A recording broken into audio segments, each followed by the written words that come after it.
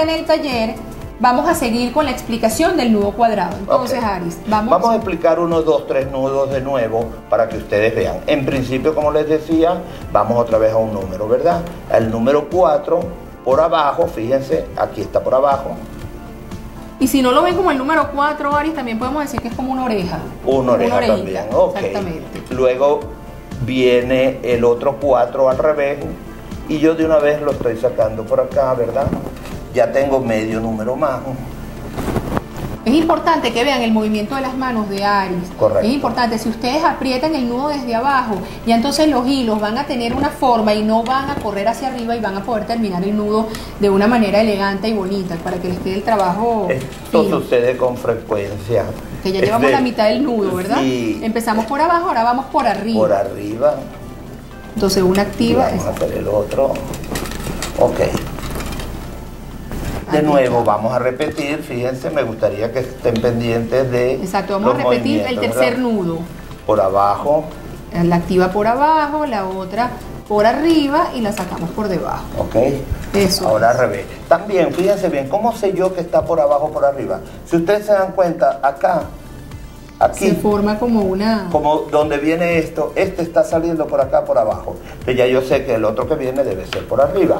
Bueno, así sucesivamente, vamos a hacer hasta completar 14 nudos, ¿verdad? Esos 14 nudos van a ser el cuerpo de la... De la De los brazos. De los Va a ser los brazos. Van a ser los brazos. Fíjense, es importante, Aris, que la gente sepa que en hilos es otra cosa. Cuando estamos trabajando con alambre, los hilos de las guías deben estar siempre uno al lado del otro. Traten de ver, es importante que no se les encaramen o que no cambien de posición porque después a lo largo del trabajo se va a ver bien, Así no es. se va a ver bonito. E igualmente es bueno recordarles que debe- debemos de ir, eh, ¿cómo se dice? Agarrando siempre nuestra pieza, El trabajo. ajustándolo a la mm, Aquí tenemos tabla. pinza. Aquí tenemos, para eso tenemos esta importante, ¿verdad? entonces, con un Entonces, alfiler, fíjense, con un alfiler, aquí. Lo vamos a meter en el medio de las guías, Sí, señor. ¿ok? Y ahí Entonces, ajustamos. así ve, y así seguimos. Te permite no trabajen en el aire. Ya nosotros tenemos esta parte. Sí, vamos a cambiar bastante- entonces, si quieres permíteme esta ¿Cómo no? tabla aquí, Ari. Vamos a colocarla de este lado y vamos a seguir con esta, con el trabajo un poco más adelantado por cuestiones de tiempo, no podemos tejerlo todo. Y entonces aquí terminamos ya con los Entonces, 14 nudos. Sí, señor, aquí está, en verdad, está faltando el medio nudo. Ok, como ustedes se, han- se han dado cuenta, aquí nada más que ha estado trabajando esta, razón por la cual ella se ha recogido bastante. Ahora tengo que comenzar a hacer el cuerpo. ¿Cómo hago yo para hacer el cuerpo? Invierto los alambres, ahora voy a Las colocar. guías van a salir a los extremos y las activas vienen al centro como guías. Así es. Y como que si estuviera comenzando, voy a hacer un primer nudo del cuerpo, ¿verdad? Aquí me voy. Bajas, Tenemos que tener cuidado que no se nos, como nos dijo exacto. Que no se Matilde, que no se encaramen los hilos. Entonces ya yo tengo acá, tal como le dije, es bueno que estemos fijando nuestro trabajo. Fíjense, mientras Ari sigue tejiendo los nudos cuadrados, eh, quiero recordarles que pueden vernos en YouTube como programa Matideas y comunicarse con nosotros por cualquier sugerencia o inquietud que tengan a través de las redes sociales que aparecen en pantalla o a través de nuestro correo electrónico. Aquí tenemos una muestra de algunas de las piezas que ustedes pueden hacer, por supuesto, luego de haber practicado muy bien todo lo que es la técnica del macramé en hilo o en alambre. Aquí tenemos algunas piezas muy bonitas. Hay unas en plateado, otras en dorado, recordándoles que siempre les podemos dar un baño electrolítico a, la- a la- a las piezas ya terminadas. Entonces, ya tejimos aquí. Ahorita es importante, si quieres, Ari, yo creo que nos da chance de tejer unos cuantos, unos cuantos nudos ¿Cómo más. no? Nos da chance para que, fíjense aquí, esto es importante. Aquí hay un espacio que es importante que lo dejen. No pueden tejer, después de los 14 nudos, no pueden seguir con los brazos, con el cuerpo de la cruz, que serían Serían- cuántos nudos, Ari? Serían, serían 21, ¿correcto? 21, sí. Fíjense esto, esto es una fórmula muy sencilla y me la enseñó él, por supuesto. Son, eh, por ejemplo, en la parte de los brazos tenemos 14, eso significa que si lo dividimos entre dos tenemos el número 7.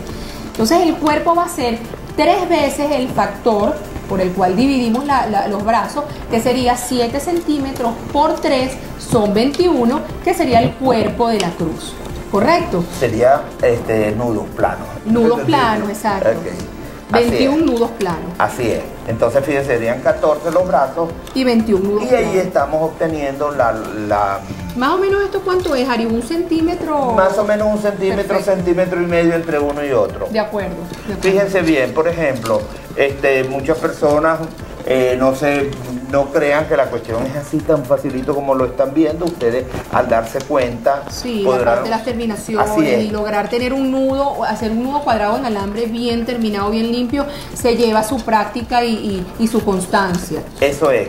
Y probablemente si ustedes siguen los movimientos que yo estoy haciendo desde un principio, probablemente ustedes se van a evitar se van a evitar muchos de los errores que inicialmente yo cometí al momento de estar mm, eh, practicando o sacando las técnicas, ¿verdad? Bueno, y así sucesivamente como ustedes están viendo, hasta que tengamos 21 nudos, por lo menos aquí ya van como 7 nudos, ¿verdad? Perfecto. Ok, ya nosotros tenemos un, uno un poquito más avanzado. Perfecto. Y- entonces recuerden que hay que dejar un espacio aquí para luego poder hacer la terminación de la cruz que Ari nos las va a enseñar.